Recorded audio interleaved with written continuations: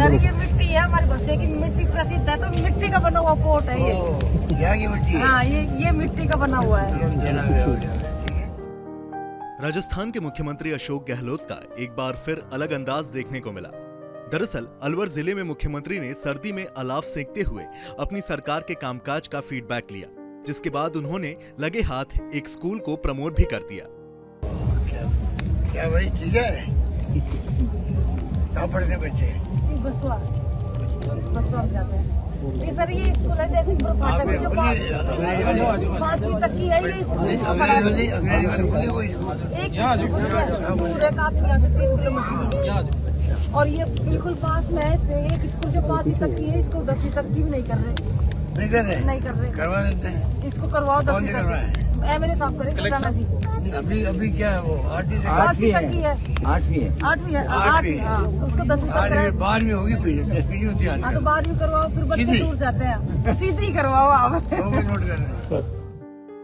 यही नहीं सीएम अशोक गहलोत ने अलाव सेक रहे बच्चों से भी उनकी पढ़ाई के बारे में जानकारी लेनी शुरू कर दी।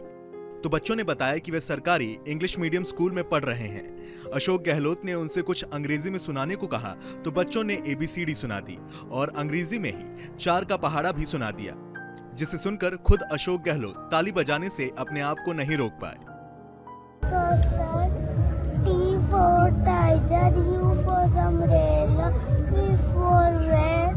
W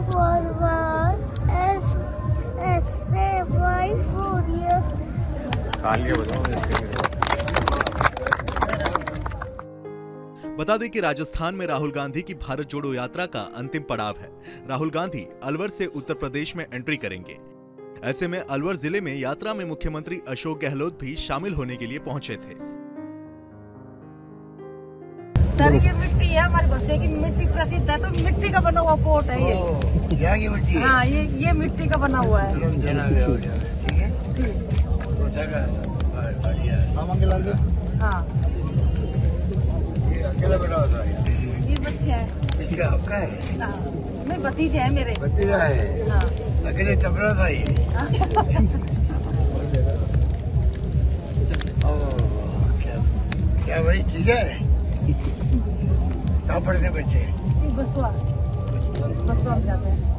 सर ये स्कूल है जैसे जो पाँचवीं तक की है स्कूल एक है, यहाँ से तीन किलोमीटर। और ये बिल्कुल पास में है तो एक स्कूल जो पाँचवीं तक की है इसको दसवीं तक की भी नहीं कर रहे।